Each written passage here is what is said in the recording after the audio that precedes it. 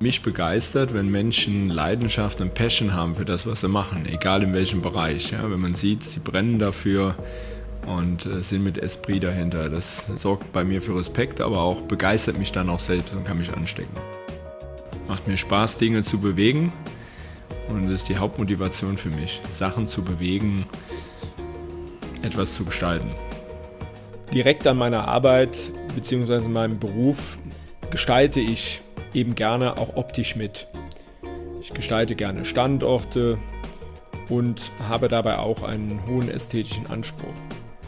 Die Herausforderung dabei ist natürlich, diesen ästhetischen Anspruch letztendlich auch mit den wirtschaftlichen Notwendigkeiten in Einklang zu bringen. Notwendigkeiten, die ich einerseits selbst sehe, aber auch welche, die an mich bzw. meine Aufgabe vorausgesetzt sind.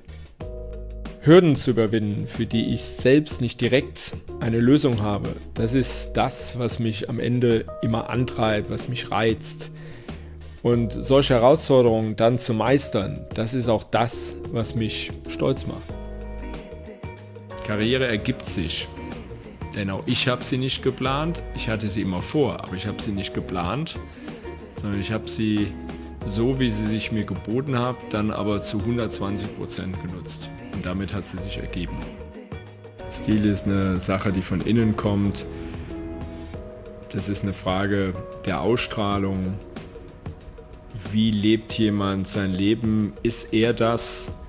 Und äh, das drückt sich in Verhalten aus, in Umgang mit anderen, in Kleidung etc. Aber es kommt von innen.